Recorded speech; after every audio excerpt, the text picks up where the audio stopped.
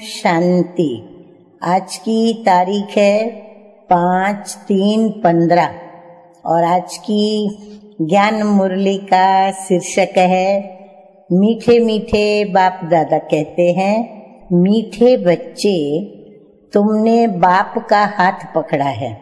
तुम गृहस्थ व्यवहार में रहते भी बाप को याद करते करते तमो प्रधान से सतो प्रधान बन जाएँगे। तो ये था आज का शीर्षक। और आज का फिर प्रश्न है, तुम बच्चों के अंदर में कौन सा उल्लास रहना चाहिए? तख्त नशीन बनने की विधि क्या है? तो उत्तर है, सदा उल्लास रहे कि ज्ञान सागर बाप हमें रोज ज्ञान रत्नों की थालियाँ भर भर कर देते हैं। जितना योग में रहेंगे, उतना बुद्धि क्या होती जाएगी? बाबा कहते हैं, बुद्धि कंचन होती जाएगी। ये अविनाशी ज्ञान रत्न ही साथ में जाते हैं। और तख्त नशीन बनना है तो माता पिता को पूरा पूरा फॉलो करो। उनकी श्रीमत अनुसार चलो। औरों को भी आप समान बनाओ। मुरली की शुरुआत, ओम शांति। रूहानी बच्चे इस समय कहाँ बैठे हैं? कहेंगे रूहानी बाप की यूनिवर्सिटी अथवा पाठशाला में बैठे हैं। बुद्धि में है कि हम रूहानी बाप के आगे बैठे हैं। वो बाप हमको सृष्टि के आदि मध्य और अंत का राज समझाते हैं। अथवा भारत का राइज और फॉल कैसे होता है? हाँ भारत का उत्थान और पतन कैसे होता है, ये भी बताते हैं। तो भारत जो पावन था हाँ अभी बाबा बताते जा रहे हैं कि भारत जो पावन था, वो अभी पतित है। भारत सिरताज था। फिर किसने जीत पाई उसके ऊपर रावण ने। तो राजाई गंवा दी तो फॉल हुआ ना। हाँ फिर गिरती कला में आ गए। कोई राजा तो है नहीं। अगर होगा भी तो वो पतित ही होगा। इस ही भारत में सूर्यवंशी महाराजा महारानी थे। सूर्यवंशी महाराजाएँ और चंद्रवंशी राजाएँ थे। ये बातें अब तुम्हारी बुद्धि में है। दुनिया में ये बातें कोई नहीं जानते। तुम बच्चे जानते हो कि हमारा रूहानी बाप हमको पढ़ा रहे हैं। रूहानी बाप का हमने हाथ पकड़ा है। हाँ सभी ने हाथ पकड़ा हुआ है ना? हाँ रूहानी बाबा के हाथ में अपना हाथ दिया है ना? भले हम रहते हैं गृहस्थ व्यवहार में, परंतु बुद्धि में है कि अभी हम संगम युग पर खड़े हैं। पतित दुनिया से हम पावन दुनिया में जाते हैं। कलयुग है पतित युग, सतयुग है पावन युग। पतित मनुष्य पावन मनुष्यों के आगे जाकर नमस्ते करते हैं। है तो वह भी भारत के मनुष्य, परंतु वह दैवी गुण वाले हैं। जिनको नमन करते हैं, वो दैवी गुण वाले हैं, कि हम भी बाप के द्वारा ऐसे दैवी गुण धारण कर रहे हैं। सतयुग में ये पुरुषार्थ नहीं करेंगे। वहाँ तो है प्रालब्ध। यहाँ पुरुषार्थ कर दैवी गुण धारण करने हैं। बाबा कहते हैं, सदैव अपनी जाँच रखनी है कि हम बाबा को कहाँ तक याद कर तमो प्रधान से सतो प्रधान बन रहे हैं। जितना बाप को हम याद करेंगे, उतना सतो प्रधान बनेंगे। बाप तो सदैव सतो प्रधान है। अभी भी पतित दुनिया, पतित भारत है। पावन दुनिया में पावन भारत था। तुम्हारे पास प्रदर्शनी आदि में भिन्न भिन्न प्रकार के मनुष्य आते हैं। कोई कहते हैं जैसे भोजन ज़रूरी है, वैसे ये विकार भी भोजन है। इनके बिगर मर जाएँगे। अब ऐसी बातें तो है नहीं। सन्यासी पवित्र बनते हैं, फिर मर जाते हैं क्या? ऐसे ऐसे बोलने वाले के लिए समझा जाता है कि कोई बहुत अजामेल जैसे पापी होंगे, जो ऐसे ऐसे कहते हैं। बोलना चाहिए कि क्या इस बिगर तुम मर जाएँगे? जो भोजन से इनकी भेंट करते हो, स्वर्ग में आने वाले जो होंगे, वह होंगे सतो प्रधान फिर पीछे सतो रजो और तमो में आते हैं। जो पीछे आते हैं, उन आत्माओं ने निर्विकारी दुनिया तो देखी ही नहीं है तो वो आत्माएँ ऐसे ऐसे कहेंगी कि इन बिगर तो हम रह नहीं सकते। हाँ तो बाबा ने राज भी बताया कि कौन सी आत्माएँ ऐसे जवाब देती है कि भाई हम विकारों बिगर नहीं रह सकते हैं।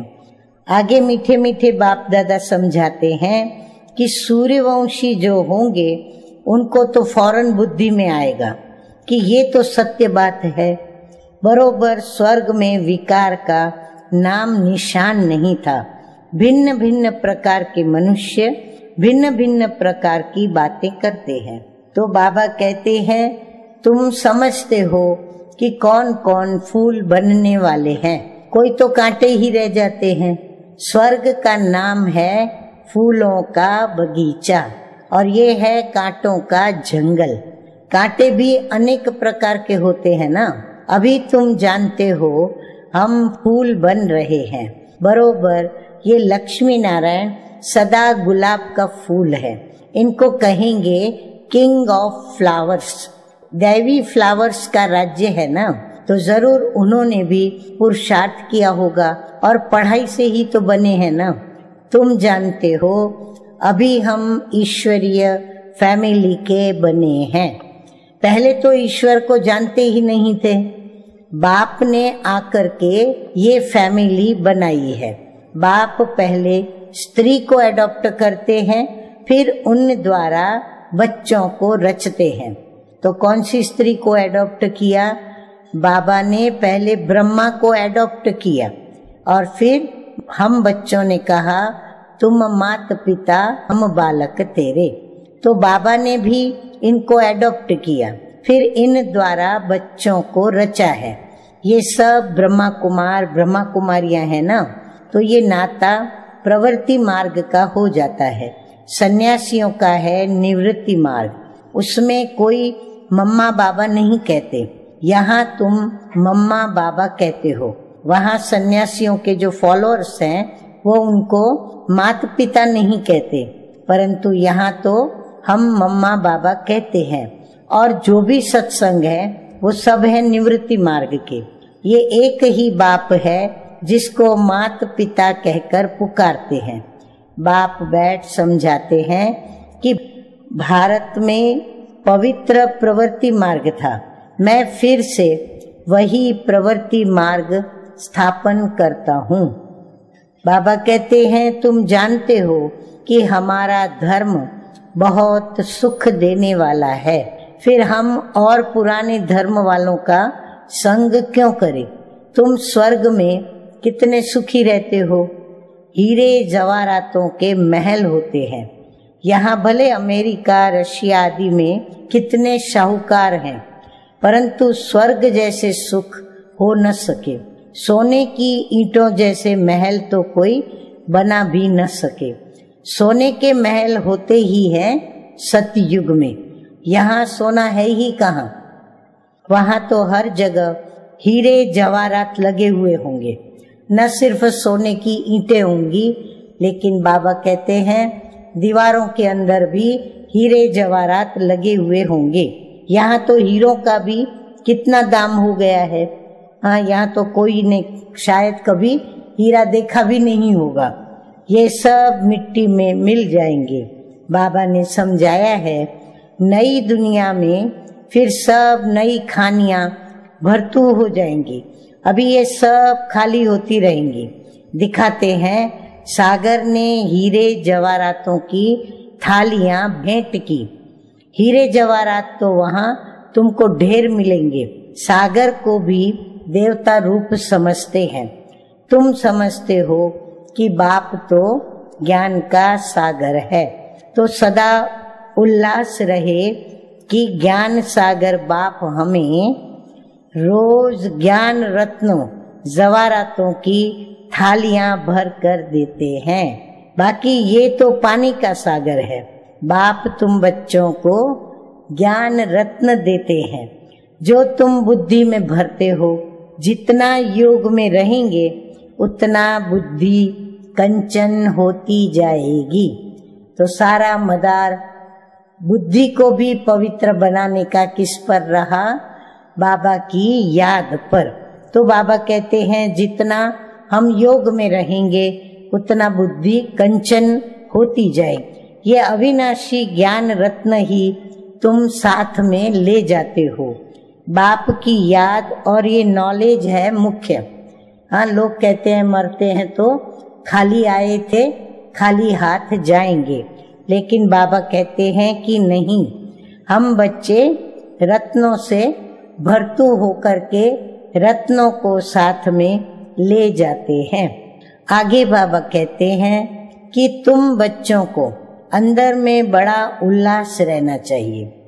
बाप भी गुप्त है और तुम भी गुप्त सेना हो। नॉन वायलेंस हाँ अहिंसक। अननोन वॉरियर्स भी कहते हैं ना। फलाना बहुत पहलवान वॉरियर्स है, परंतु नाम निशान का पता नहीं है। ऐसे तो हो ही नहीं सकता। गवर्नमेंट के पास एक एक का नाम निशान पूरा होता है। अननोन वॉरियर्स, नॉन वायलेंस, ये तुम्हारा नाम है। सबसे पहली पहली हिंसा है ये विकार की। हाँ विकार, किसी भी विकार के वश यदि किसी को दुख दिया तो बाबा कहते हैं, ये है पहली पहली हिंसा। जो ही आदि मध्य अंत दुख देता है, इसलिए तो कहते हैं कि हे पतित पावन, हम पतितों को आकर के पावन बनाओ। पावन दुनिया में एक भी पतित हो ही नहीं सकता। कायदा ही नहीं कि जब दिन का उजाला, अर्थात बेहद का उजाला है, ब्रह्मा का दिन है, पावन दुनिया सतयुग है वहाँ एक भी पतित या अपवित्र हो नहीं सकता। ये तुम बच्चे जानते हो कि अभी ही हम भगवान के बच्चे बने हैं, बाप से वर्षा लेने के लिए। परंतु माया भी कम नहीं है। माया का एक ही थप्पड़ ऐसा लगता है जो एकदम वो गटर में गिरा देती है। हाँ सभी ध्यान ध्यान पर रखे ये बात हाँ माया को कभी भी चांस न दे कि माया थप्पड़ लगावे और एकदम गटर में जाके गिरे। विकार में जो गिरते हैं तो बुद्धि एकदम चट्ट हो जाती है। बाप कितना समझाते हैं। आपस में देहधारी से कभी प्रीत नहीं रखो। तुमको प्रीत रखनी है एक बाप से। कोई भी देहधारी से प्यार नहीं रखना है, मोहब्बत नहीं रखनी है। मोहब्बत रखनी है, उनसे जो देह रहित विचित्र बाप है। बाप कहते हैं, यदि मोहब्बत रखनी है तो किससे रखें? उनसे रखें जो देह रहित विचित्र बाप है। तो बाप कितना समझाते रहते हैं, फिर भी समझते नहीं। तकदीर में नहीं है तो एक दो की देह में फंस पड़ते हैं। बाबा कितना समझाते हैं कि तुम भी रूप हो। आत्मा और परमात्मा का रूप तो एक ही है। आत्मा छोटी बड़ी नहीं होती। आत्मा अविनाशी है। हर एक का ड्रामा में पार्ट नूंधा हुआ है। अभी कितने ढेर मनुष्य हैं, फिर नौ दस लाख होंगे। हाँ सतयुग में बहुत जनसंख्या थोड़ी हो जाती है।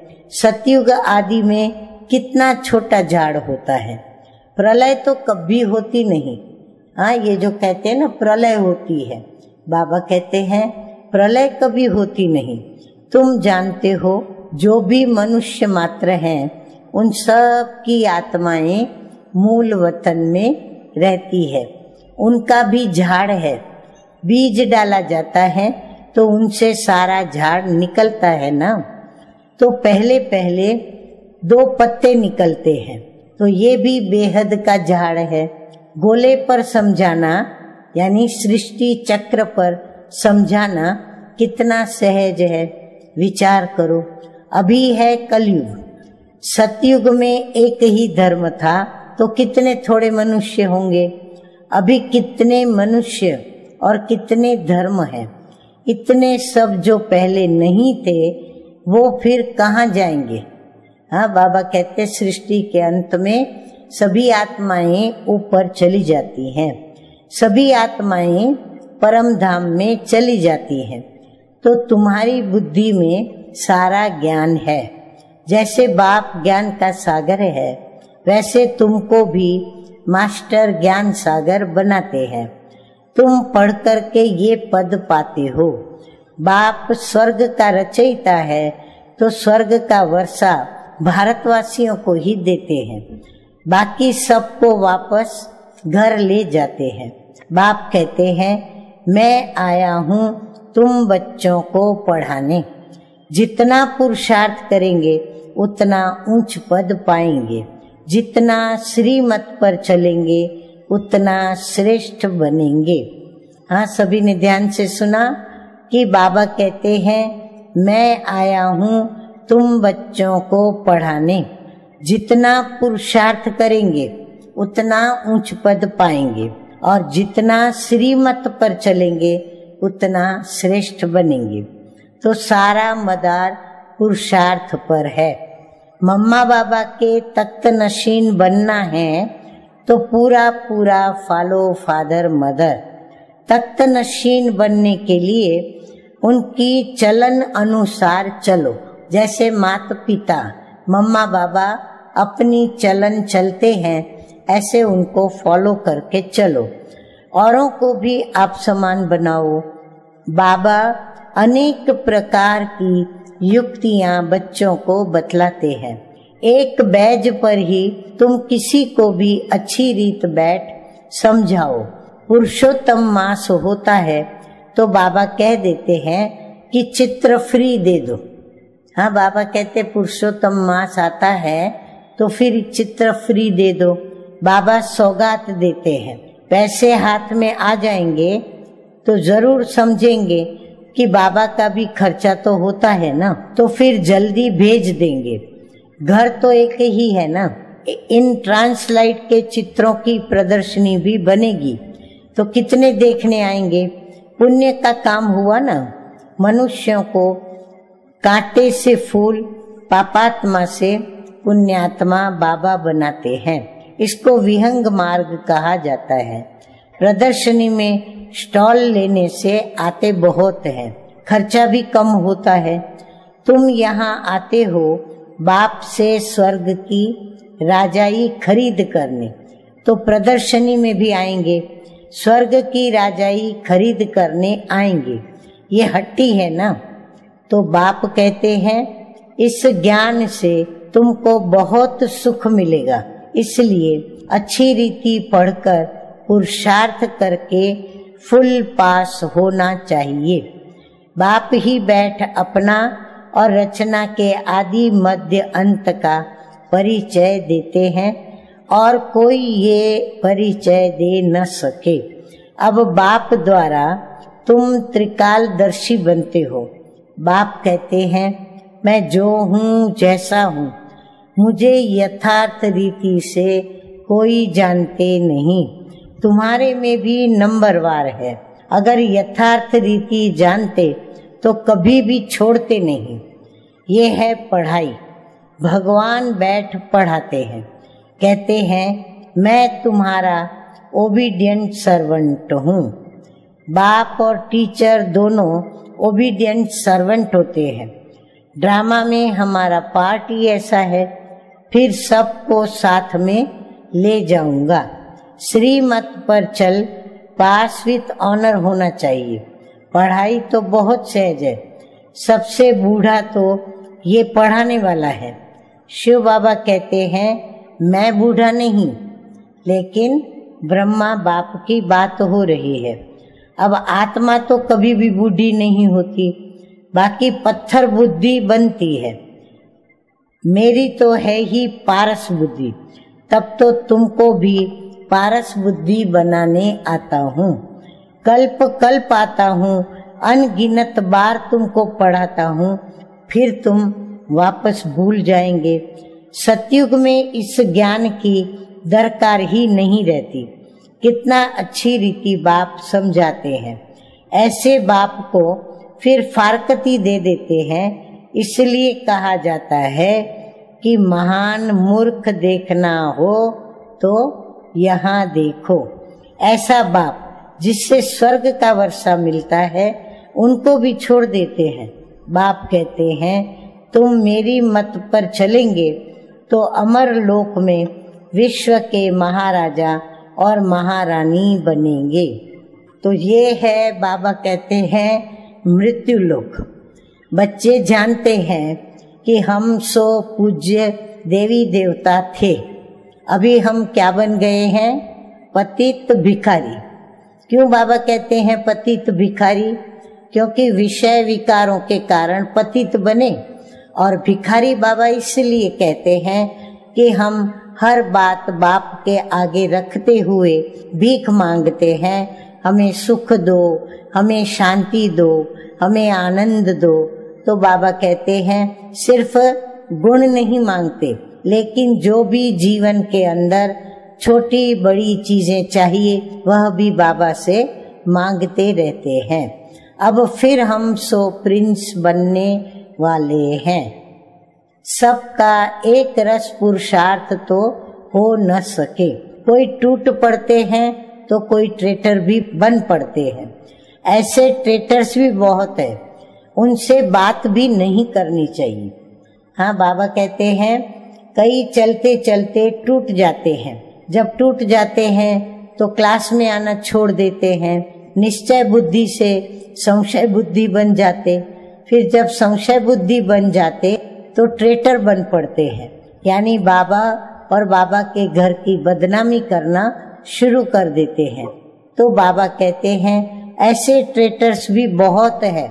उनसे बात भी नहीं करनी चाहिए। सिवाय ज्ञान की बातों के और कुछ पूछे तो समझो कि ये शैतानी है। संग तारे, कुसंग बोड़े बाबा कहते हैं, यदि आपको कोई ज्ञान की बातों को छोड़कर और अलग अलग बातें पूछते हैं, दुनियावी बातें तो बाबा कहते हैं, समझ लो, उसका मन शैतान से भरा हुआ है। कौन शैतान? रावण उनसे ये काम करा रहा है। तो बाबा कहते हैं, संग तारे कुसंग बोड़े जो ज्ञान में होशियार, बाबा के दिल पर चढ़े हुए हैं, उनका संग करो। बाबा कहते, संग किसका करो? जो ज्ञान में होशियार हैं, जो बाबा के दिल पर चढ़े हुए हैं। बाबा को ज़्यादा याद करते हैं तो बाबा कहते हैं, उनका संग करो। वह तुमको ज्ञान की मीठी मीठी बातें सुनाएँगे। अच्छा अब क्या सुनेंगे? मीठे मीठे बाप दादा के द्वारा याद प्यार। तो मीठे मीठे सिकिल दे सर्विस से बुल, वफादार, फरमान बरदार, बच्चों को मात पिता बाप दादा का याद प्यार और गुड मॉर्निंग, रूहानी बाप की रूहानी बच्चों को नमस्ते। हम रूहानी बच्चों का, रूहानी बाप दादा को याद प्यार, गुड मॉर्निंग और नमस्ते नमस्ते।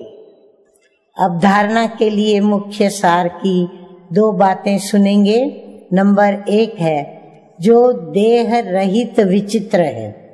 हाँ वो कौन है? निराकार बाबा।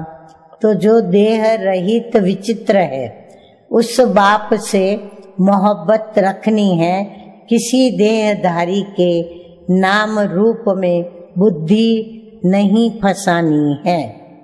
तो बाबा कहते हैं, मोहब्बत किससे रखनी है? एक बाबा से। तो धारणा क्या हो? मेरा तो एक बाबा, दूसरा न कोई। और देहधारी के नाम रूप में बुद्धि क्यों नहीं फंसानी है? क्योंकि माया का थप्पड़ न लगे। ये संभाल करनी है। नंबर दो है, जो ज्ञान की बातों के सिवाय दूसरा कुछ भी सुनाए, उसका संग नहीं करना है। फुल पास होने का पुरुषार्थ करना है, कांटों को फूल बनाने की सेवा करनी है। वरदान है सतगुरु बाप के द्वारा कि स्वमान द्वारा अभिमान को समाप्त करने वाले सदा निर्माण भव। बाबा कहते हैं, अभिमानी व्यक्ति कभी भी झुक नहीं पाता। अभिमानी व्यक्ति कभी नम्रता से बात नहीं कर सकता। इसलिए बाबा कहते हैं कि स्वयं के स्वमान में स्थित रहेंगे तो अभिमान नहीं आएगा। अभिमान पर हम विजय प्राप्त करेंगे। तो इसीलिए बाबा कहते हैं कि जो अभिमान पर विजयी होता है, वो निर्माण होता है। तो बाबा कहते हैं, अभिमान को समाप्त करने वाले सदा निर्माण भव। जो बच्चे स्वमान में रहते हैं, उन्हें कभी भी अभिमान नहीं आ सकता। वे सदा निर्माण होते हैं। जितना बड़ा स्वमान, उतना ही हाजी में निर्माण। छोटे, बड़े, ज्ञानी, अज्ञानी, माया जीत या माया वश, गुणवान हो या कोई एक, दो अवगुणवान भी हो। अर्थात गुणवान बनने का पुरुषार्थी हो, लेकिन स्वमान वाले सभी को मान देने वाले दाता होते हैं। अर्थात स्वयं संपन्न होने के कारण सदा रहम दिल होते हैं। स्लोगन है आज का स्नेह ही सहज याद का साधन है। स्नेह ही सहज याद का साधन है। स्नेह में स्वतः ही याद स्नेही की आती रहती है। इसलिए बाबा कहते हैं, ये स्नेह जो बाप के साथ है हमारा, वही याद का सहज साधन है। इसलिए सदा स्नेही रहना और स्नेही बनाना। अच्छा ओम शांति।